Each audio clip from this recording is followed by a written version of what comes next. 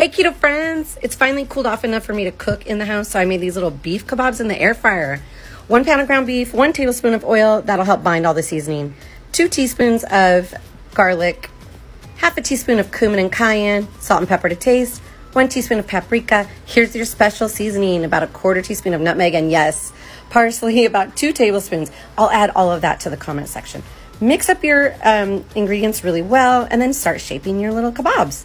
Pop them in the air fryer at 470, no, th- sorry, 370 for 10 minutes. And they come out so good, so juicy. They're like little nuggets, little kebabs. You don't need the sticks or anything. Um, I'm going to show you right here. Hopefully you can see how juicy they are. And you definitely want to make a sauce on the side. I didn't have any, I didn't have time to make a sauce, but I used sour cream. So good. Go get it. I don't ever want to hear somebody say fat free cheese doesn't taste good after this. Let's go. Two cups of water, protein pasta, boil for seven minutes, and put it off to the side. Half cup almond milk, add fat free cream cheese when it starts steaming, reduce that, add your fat free cheese, and mix everything together. Add hot sauce if you're feeling spicy, and put your noodles back in. Mix it all together, and add four ounces of cooked chicken, garlic powder, and paprika on top, have recently been drinking bone broth every single day for my joints, for my bones, also for my gut and my skin. So if you're interested in learning how to make bone broth, let's get started. Two pounds of chicken feet, three chicken carcasses. Roast these at 400 degrees for 30 minutes. Then place it in a pot. I'm drizzling in a little bit of apple cider vinegar. Just enough water to cover the veggies and bones, herbs. Bring it to a boil, then cook it on low for 10 plus hours strain the broth and I was able to fill up three of these 32 ounce deli cups. A batch lasts me for about a week and I store it in the fridge, but if you're storing it in the freezer, it should last about three weeks. And every day I scoop out a cup and microwave it for two minutes, put in a few pinches We've got another winner. 10 out of 10. This Philly cheesesteak casserole was amazing. So screenshot this and let's get cooking together. Get your veggies ready and set them aside. Pour your mushrooms into a bowl, slice your onions into half moons, as well as those green peppers. You can use other colored peppers as well. Then in a skillet, add a little avocado oil and your sliced beef. I'm gonna season it up with salt, pepper, and garlic powder and cook it until brown. Then set it aside, leaving the juices in the pan and adding our veggies. Make sure to stir them up and coat them and cook until nice and softened.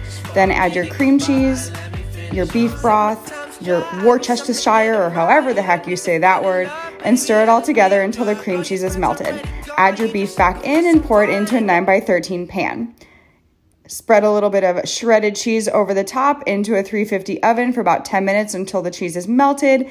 Serve it in a bowl or with your favorite veggies and salad. It was absolutely great. Tag and do at us if you make it and like and If you love nachos like I do, then you have to try these cauliflower nachos. They are so good and this is how you make it. First thing we're gonna do is we're going to cut our cauliflower into florets. Then we're going to add it to a baking sheet and drizzle with some olive oil. And then we're gonna add all of our seasonings, mix together and add to the oven. And then we're going to roast. Then we're gonna cut our cooked corn. This is the best way to cut corn. Remove our cauliflower from the oven, top with lots of cheese, tomatoes, jalapenos, and corn. And then we're gonna add it back into the oven until the cheese is melted. Then we're gonna add all of our fresh ingredients. I like avocado, green onions, sour cream, and red chili flakes. Full recipes on my Instagram page. Let me know if you try it. Enjoy. For lunch today, I made a turkey avocado keto wrap. So let me show you how I made it.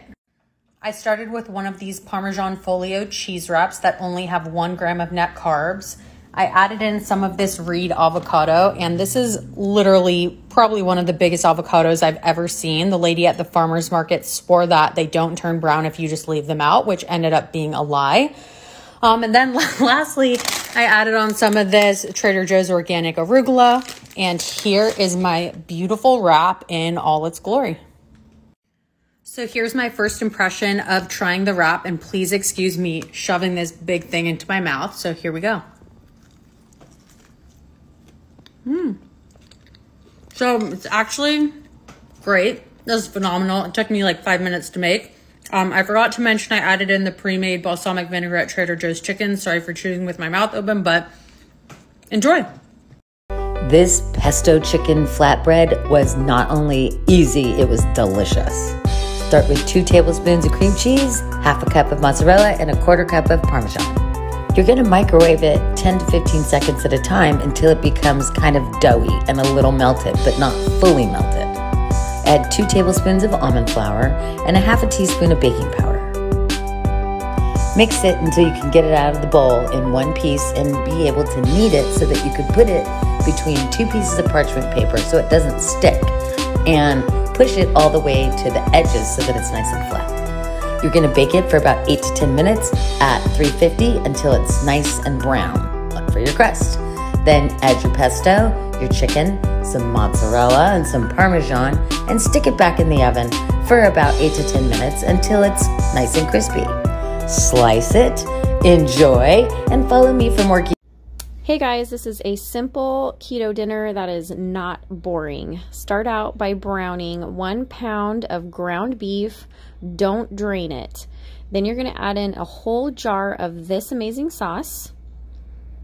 Add in one teaspoon of basil, one teaspoon Italian seasoning, and then an entire head of shredded cabbage. Use tongs to get the mixture all mixed up and the cabbage entirely coated.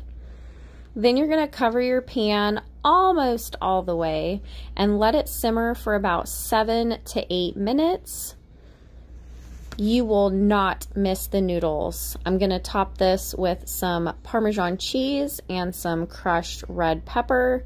And this tastes just like spaghetti dinner. You will not. If you don't like broccoli, you're to like it now, I promise. Caesar dressing with everything bagel, roasted, the best. In a bowl, mix olive oil, salt, pepper with the broccoli. Put it in the air fryer at 400 degrees for 10 minutes. Now we're going to make the dressing. One minced garlic, Worcestershire sauce, anchovy paste, mustard, lemon juice, some olive oil. Give that a good mix. Add that mayo. Give it a good mix again. Some Parmesan cheese. Take it out of the air fryer. Look at that. Drizzle all on top and finish with everything bagel seasoning. This low carb pizza roll skillet with creamy garlic dip is one you're definitely going to want to make. Let me show you how to do it. Start out by grabbing some fresh basil. You just want to roll it tightly and run your knife through it like that, and then back across to get it as finely diced as possible. Mince three cloves garlic. You're just going to add that to a bowl that has three ounces of cream cheese, a third a cup of sour cream to it. Then you want to add some salt, pepper, and parmesan. Mix that well and set it aside. Grab your Cut Da Carb flatbreads and working with one sheet at a time. You just want to spoon on a thin layer of marinara, then some mozzarella cheese, whatever pizza toppings you like. I'm just using pepperoni. Roll that up tightly and cut into eight even pinwheels. In a greased dish, you just want to place the pinwheels along the perimeter and then add your dip into the center. Sprinkle on a little mozzarella and bake this at 400 degrees for 20 minutes. Once it comes out of the oven, sprinkle on a little parmesan, some more fresh basil, a little red pepper flake, and you are ready to enjoy.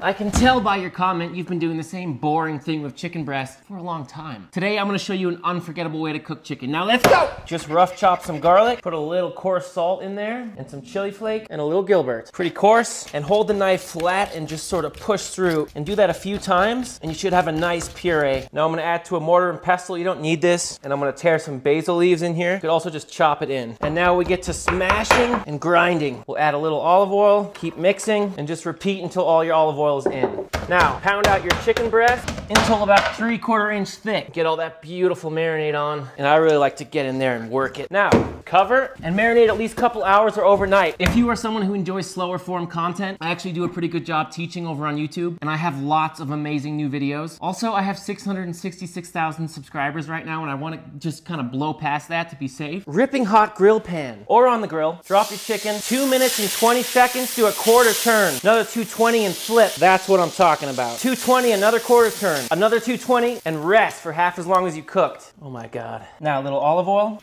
lemon, and finishing salt. I mean, just look at that. And I swear to you, that will be some of the best chicken you ever had. Ow! Until next time, you know I love you. I am coming at you again with another high volume, lower calorie, very nutrient dense meal. So we're gonna start right here. That is just slaw Listen, I buy it in the bag, already pre chopped, shredded, whatever you want to call it. And I add one teaspoon of Primal Kitchen avocado mayo. That's going to be about 30 calories and apple cider vinegar to taste. I like a lot of apple cider vinegar. Then I chopped up cucumbers and onions, everything bagel seasoning, and a little red wine vinegar. Lots of flavor going on right there. That makes the taste buds happy. This is one package of cold smoked Atlantic salmon. 120 calories, 18 grams of protein. Protein makes you pretty. Do not forget your protein. Then I've got berries, blackberries with a little feta. Feta is lower in lactose, so if you have a dairy intolerance, it might be a good one to try. High volume, good meal. Easy dinners for when I don't feel like cooking, but I have a family to feed, maybe part one. this is extremely simple. I'm just gonna take a chicken breast, cut it in half, season it really well. I use salt, pepper, onion and garlic powder, paprika, Cajun seasoning, parsley, do both sides. Spray a little oil into your air fryer. Then we're gonna cook this chicken at 370 Fahrenheit for about 12 minutes. When it's halfway through, we're gonna pause and take our chicken out so that we can flip it over, then return it to the air fryer so it can continue to cook until it's no longer pink. So what am I gonna do with this chicken? Well, you can either just serve it like this, you can put it on a salad. Look at that, beautiful. I'm gonna turn it into a wrap. I have a warmed extra large tortilla. I'm gonna put some lettuce. My chicken, I put Frank's wing sauce on it, red onion, ranch, and cheddar cheese. I suck at rolling these things up, but hey, I do my best. And then I didn't feel like dirtying any more dishes than I already have. So this is gonna go right back in that air fryer. Didn't even clean it, it's cool. And put it back in for just two or three minutes or until your shell is crispy. And that is